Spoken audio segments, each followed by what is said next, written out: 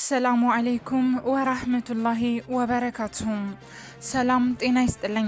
ውድና የተከበራችሁ የማልከም ኤክስ ኢትዮ መረጃ ተከታታይ ቤተሰቦቻችን እንደምን አርፍዳችኋል? ለሰዓቱ ያልነውን ልዩ መረጃ ይዘን ተመልሰናል። እስከ ፕሮግራማችን ፍጻሜ ድረስ አብራችሁን እንድትቆዩ በአክብሮት እየጋበዝን ወደ ፕሮግራሞቻችን እንሸጋግራለን።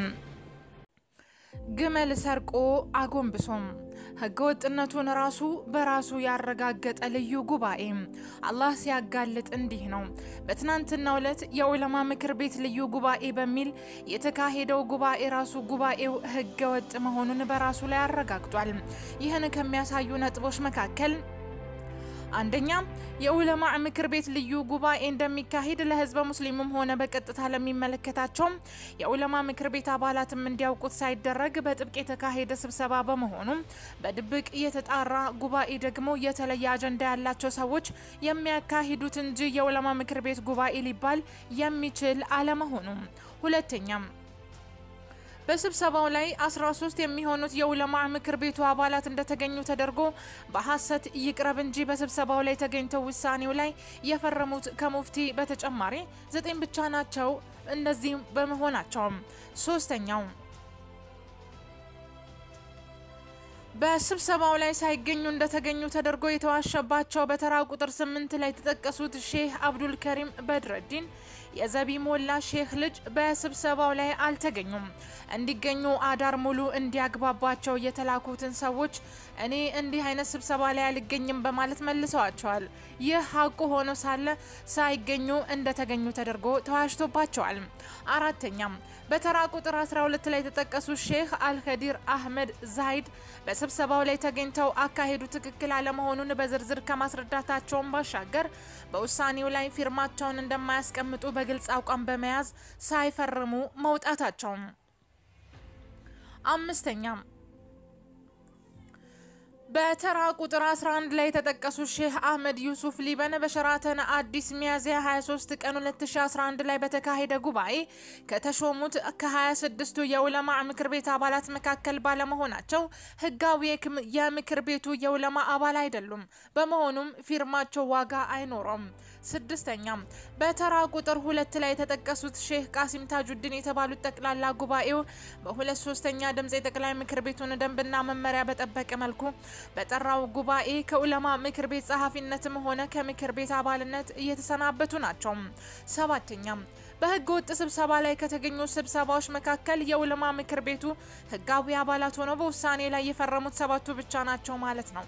ይህም ስብሰባው ከመሰረቱ ህገ ወጥ መሆኑን በግልጽ የሚያሳይ በመሆኑ ስምንተኛው በስብሰባ ላይ ተገኙ የተባሉት 13 አባላት በሙሉ አልተገኙም እንጂ ቢገኙ እንኳን ምልአተ ጉባኤውን ስለማያሟሉ ህጋዊ የሆነ ውሳኔ ሊያስተላልፉ ይቅርና ስብሰባውን እንኳ አጀንዳ አጽድቆ ለማካሄድ ህጋዊ መሰረት የላቸውም።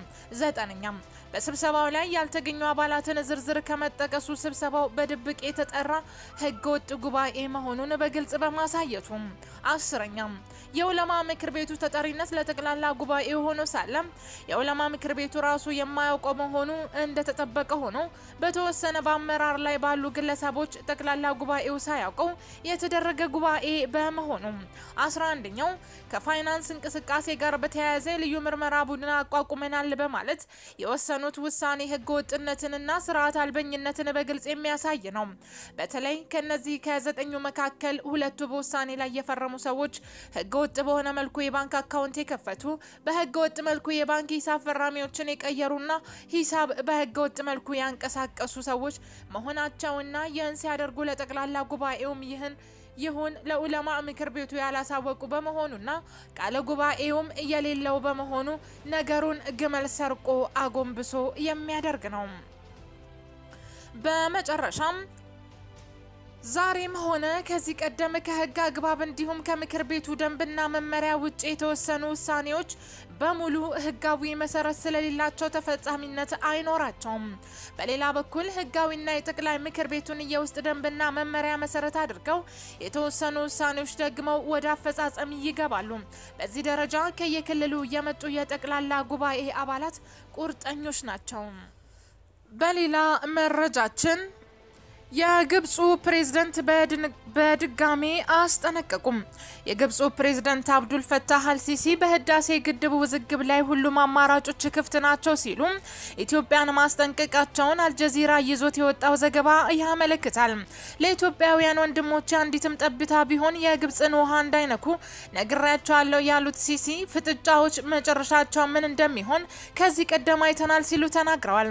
በሌላ በኩል በህዳሴ ግድብ ጉዳይ በቅርብ ጊዜ ከግብጽ ጎን መቆሟን እያሳየች ያለችው የሱዳኑ ውሃ ሚኒስቴር ያሲር አባስ በበኩላቸው ከህዳሴ ግድብ ጋር በተገናኘ ውዝግቡን ወደ ተባበሩት መንግስታት ድርጅት ጸጥታው ምክር ቤት መውሰዱን ጨምሮ ሁሉም አማራጮች ጠረጴዛችን ላይ ናቸው ሲሉ ለጋዜጠኞች በሰጡት መግለጫ መናገራቸውን የሱዳን ዜና ምንጮች ዘግበዋል።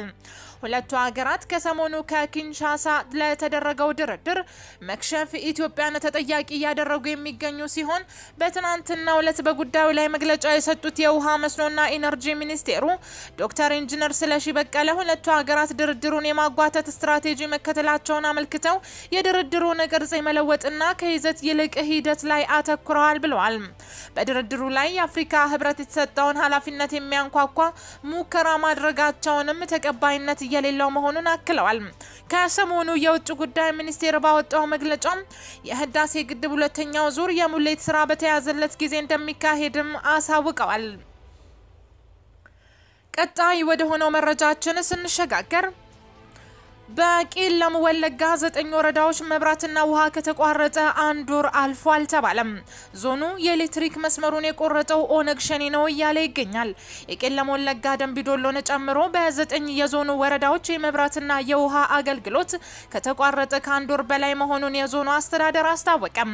በዞኑ የመብራት አገልግሎት የተቋረጠው ከደንቢዶሎ ወደ ጋምቤላ የተዘረጋው የኤሌክትሪክ መስመር አንፊሎ የሚባል ቦታ ላይ በመቋረጡና የኤሌክትሪክ ተሸካሚ ምሰሶዎች ጉዳት ስለደረሰባቸው መሆኑን የዞኑ ኮሚኒኬሽን ኃላፊ አቶ ሀምባረጋ ተናግረዋል።